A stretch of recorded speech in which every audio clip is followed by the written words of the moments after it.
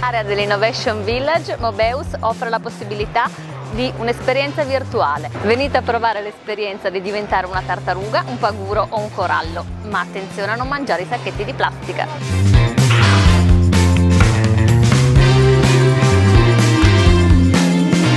Salve, siamo Moebius, siamo qua perché eh, abbiamo vinto la Call for Innovation lanciata dal Comune di Genova in collaborazione col Blue District e noi abbiamo realizzato un portale sul turismo sostenibile utilizzando il software che abbiamo sviluppato col Dipartimento di Ingegneria eh, dell'Informazione e della Matematica dell'Università di Siena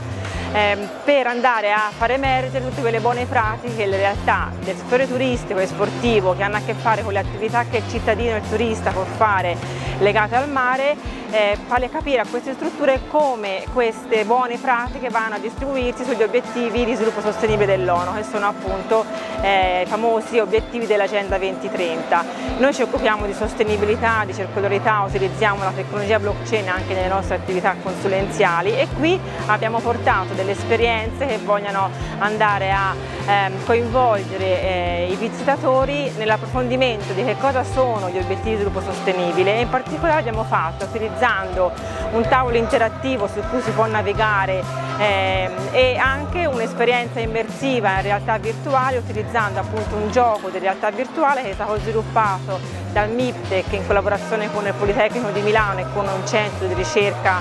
eh, marina ehm, eh, che è nato per sensibilizzare e formare le persone sugli impatti del cambiamento climatico su una barriera corallina. Quindi l'utente si